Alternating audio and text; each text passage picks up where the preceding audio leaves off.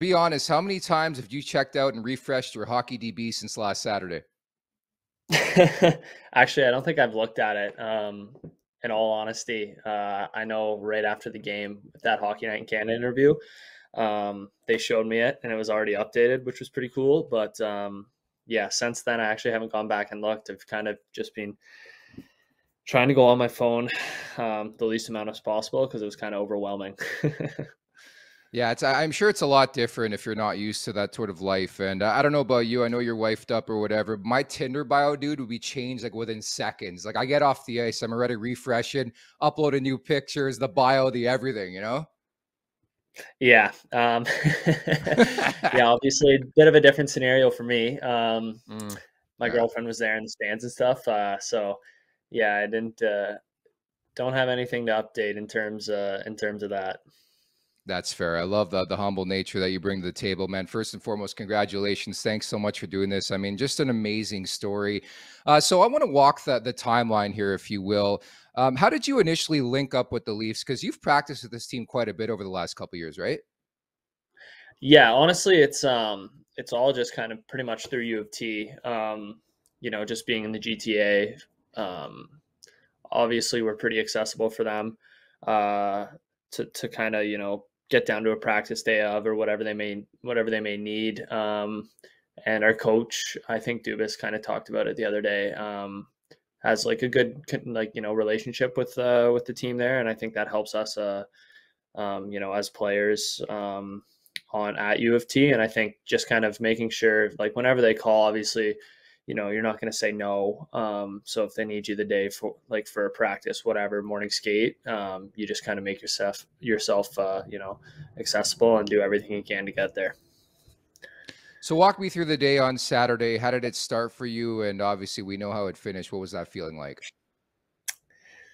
Yeah i mean i don't know. It was a normal saturday. Um, you know uh, didn't really have any uh, plans. Obviously, it was just to kind of watch the uh, Leafs game, probably with a couple buddies, sitting on my couch or their couch, um, probably having a beer or two, um, and then obviously it turns into something just completely different. Um, kind of happened last minute, like getting uh, you know the the information that you are going to sit on the bench that you're going to back up. Um, luckily had enough time. My parents i'm actually at my parents house right now in prince edward county. Um, had enough time to get like let them know. So they got they got up to the game. Obviously my girlfriend and her family and some close friends and stuff too got tickets um, last minute and just kind of kind of got themselves to the game. But it was honestly um, happened so quick that you know didn't really have too much time to think about it um, which is probably for the better. Didn't really like get to get too wound up kind of um, and just kind of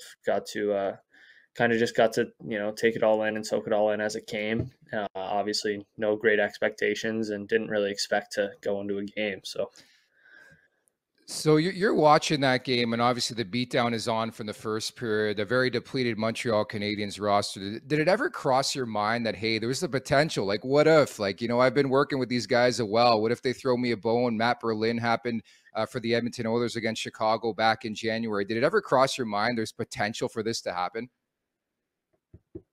Like, um, honestly, no, not really. Um, didn't even think about it. Like, I mean, I was just trying to, you know, keep my cool sitting on the bench. Um, yeah. Obviously, there, that's that exceeded any any expectation I had um, for that day. Um, and then you know, I think it's probably again, like I said, it's a good thing. Like I didn't really think about it because like all of a sudden Sheldon Keefe's walking down the bench. He's looking at me. He goes, "Jett, you're going in." A minute ten left, right? And it's like all it all happens so quick that like there's no like build up or anticipation, which is probably good because like I, I just literally got over the bench, like jump the wall, take my hat off, put my helmet on, and then you're in the net kind of thing. And it's just like you know, it, it just kind of transpired so quickly, um, which I think honestly is for the for my benefit. it's funny, like it was 120, 110 of action, but I'm sure it like felt like it was like three seconds, right? Just that feeling. Well, can you describe the emotion, the feeling of like being out there in front of a full crowd? It's Saturday night, hockey night in Canada. You're playing the rival Montreal Canadiens. Nothing you could ever suspect, right? Yeah, um, exactly. Like hit it hit the nail on the head there. Um, just I don't know, you blink and it goes by. Um, and then obviously the emotion, like getting into the net, is like I was just trying to get there. Um, I looked up at the jumbotron a couple times, you know, um, obviously soaking that all in. And you could like the place got louder. Um, obviously, like getting a pat and kind of a hug from Samsonov there is pretty cool. Um, some because you know those guys understand like like they've all had their first NHL game. Definitely a very different experience for them, right? Like being drafted, whatever it may be. Um, so it's kind of cool, like them understanding and recognizing it as well, um, which is which is pretty neat. And then obviously, I got a net, and I was just like, um, you know, one of the refs came up to me and was like, like, congrats, like, how you doing, kind of thing. And I was just like, I just hope they win the D zone draw and get the puck out, like. um, and then obviously one of the refs too, being a U of T alumni, used to play U of T. Um, pretty pretty cool. Um, just such a coincidence and kind of you know a full circle event. Man, it was just such a cool moment. I was actually in Montreal at the keg watching the game. I'm like, holy shit, that's just such an incredible feeling. I have a brother who played goalie, who plays goalie right now, just in beer leagues at Canlan Ice Sports in Oakville. And just every young mm. goalie, regardless of where you play, what level, you dream of getting to that pinnacle one day. And for you to be able to get there a different route, I think is such a phenomenal story. Uh, can you pull the curtain back on what life is like as an e-bug, like in the NHL? Like, what would you, what would your daily routine be for a game? Yeah, honestly, um, nothing glamorous. Uh, you you know you get a you get a seat. Um, you go to the game. You bring your gear, kind of thing. Um, but normal, it's a normal day. Like, I mean, uh, you know, I I practice. I have school. I've got workouts and stuff. So like, I just kind of do my normal thing at U of T. Like we have, if we have a you know 11 a.m. workout and a 12 o'clock practice, and then a couple hours of class after that, and then you know grab my gear from the rink and throw it in the car and you know, head to the head to the rink. If it's a seven o'clock puck drop or whatever, you get there, you know, anywhere from an hour to half an hour before puck drop and just kind of like enjoy it. You're obviously alert, but you know, the chances are nothing really is going to happen. It's few and far between. Um, so that, that like it's it's pretty much a normal day. Um, obviously Saturday a bit different. Um, a little bit more preparation was involved and stuff, I guess, on my part. And but uh, yeah, being in, like, you know, there's just a rotation of guys in, in the GTA and um, that play at U of T or TMU, you know. Um, so you just kind of you get a certain amount of games a year, and you just you got to show up with your gear, kind of.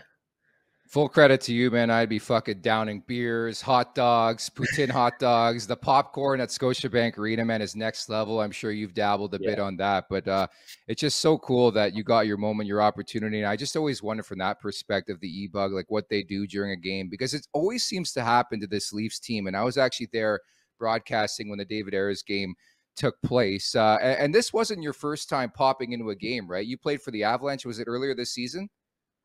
Uh, 20 last year, 21, 22. Yeah. Um, yeah, that was a uh, kind of a similar, a little bit similar, I guess. Um, their one of their goalies got hurt. I think it was Kuemper got hurt morning skate that day. Yeah. Um, mm-hmm. again, like I was on the ice. I remember it was a Wednesday, so I had like a 12, 12 o'clock practice. I get off the ice, I get out of the room. It's like 1.30 and like you have a missed phone call. They're like, "Hey, you call them back and they're like, yeah, we might need you to back up tonight, definitely, or probably for warm up or trying to get our guy. Like, so that was a bit different because they were waiting on a guy from the AHL um, and getting him in. So I just took warm up and then basically got undressed afterwards and went and sat in the stands, which was pretty cool. Um, because I remember that game, like sitting in the stands afterwards and nobody having any idea who I was. Like, because I was just on the ice, no one recognizes you. I go and sit in the stands, and I was just like a normal civilian. So that that part was pretty funny. Obviously, uh, a little bit different, but yeah, kind of cool that um, you know I've got to do it a couple times now. So you don't have to answer this question in full, but I've always just been so curious. Like, how much do you get for signing an amateur contract? If you don't want to answer that, like, what kind of perks did you get? Like, you obviously got your jersey. What are you going to do with that? Did you get some signed memorabilia and stuff like that, or did you just stay away from that? Yeah, I mean, um, I might skip the first part. Um, okay, uh, and then obviously, obviously, um, you know, you got I got I got to keep my jersey, um, my like the sweater, you know, like Gitch stuff like that, like t-shirts, shorts. Yeah. Um, I got my hat. I got the game puck, um, or one of the game pucks, I guess, uh, which was pretty neat. um, even like little stuff like the name bar above your locker, um, you know, dry stall above your dry stall and stuff like so that stuff's pretty cool. Um, just like little kind of keepsakes, and then obviously like bigger stuff like the jersey. Um, pretty special to have like a game worn jersey um, with your last name on it and stuff. So that that's definitely something I'll have to uh, something I'll get framed um, down the road here. Was it enough to take your boys for a peek on King Street West? Can you answer it that way? uh, yeah. So after the, actually after the game, we didn't even go out. A bunch of the guys like no, I was at really home, pretty lucky. I was pretty lucky. Um, like 10 minutes after I walked in my door, obviously it was a whirlwind of a night, like doing all the interviews and everything after. And then like I literally just put a text in our team group chat and I was just like, Hey, my place, come for beers kind of thing. And yeah, like 10 minutes yeah. after I got home, like I had guys just filing through the door, um, like, and then, you know, close friends that aren't on the team and stuff. And, um, so it's pretty cool that way. I just kind of get to soak it all in. Um, and just kind of enjoy it. And then like it was just kind of back to reality that night, which is what I wanted. I just I didn't want to have to yeah. do any more interviews or anything that night. It was also overwhelming. And then I was just like hanging out with my buddies and you know, so that that part was pretty cool. I'm pretty grateful for that. Well, good on you because I would have done the gauntlet, marble, two cats, petty cash, laissez faire, pizza wine disco, the entire King Street gauntlet. Uh, last question. Uh, what, what were the boys like behind the scenes? Obviously, I've been covering this team for quite a bit of time you know, what was it like to play with Matthews and and and backup Samsonov and, and all those guys? Yeah, honestly, they're all like it's they're all really good guys. Um, went out of their way to you know introduce themselves, say hey, like welcome, you know, have fun, just enjoy kind of thing. Um, obviously, there's no expectations on me really um, to do anything crazy, uh, but like they were all they were all like really really nice. Um, obviously it's so weird like watching them on TV, um, you know, having them on a fantasy team, whatever it is, um, and then yeah. sitting in the room with them.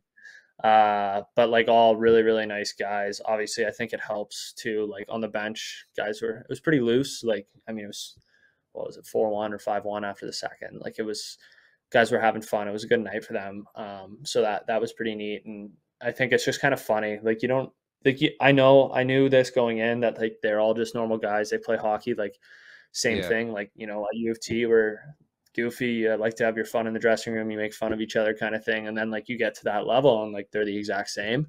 Um, they have their own inside jokes. They make fun of each other. Like they're just you know they're like they're the same as us. Like they're all they're a hockey player at the end of the day, and obviously they're just really really good at what they do. Um, but you know the same kind of humor and everything like that, which was kind of funny because he just kind of makes you think like you know obviously they're they're these like you know celebrities in toronto but uh, they're just normal guys also. You love to hear that and uh, i suppose i think the only disappointing part of this story for me was like you weren't played up as actually being a credentialed netminder. Like obviously you have a background you're really good you're one of the best goal goaltenders in youth sports uh, you know 18 19 cjhl goaltender of the year. Do you plan on turning pro once you're done school here I mean, yeah, obviously right now that's the goal. Um, and yeah, I think people don't really understand. I think like, you know, not to sound rude, like the whole David Ayres thing, like that's what really turned the tide for ebugs, right? Is now like you have mm-hmm. a university goalie at every game for the Leafs. Like um, they do that to help with, I think, honestly, like maybe a little bit the integrity in case that there is a goalie that has to go in. That's not that if two guys get hurt or whatever. So I mean, ultimately, right now, I want to go play pro after school. Yeah, um, and I think that's something that um, you know, if I have another good year and keep building at U of T and keep uh, you know keep my head down and keep working at it, it'll be an opportunity. Um, but also just kind of want to get my degree and focus on graduating as well. That's my that's my first goal, um, and then after that, I'll I'll kind of let everything else worry about it. You know, take care of itself.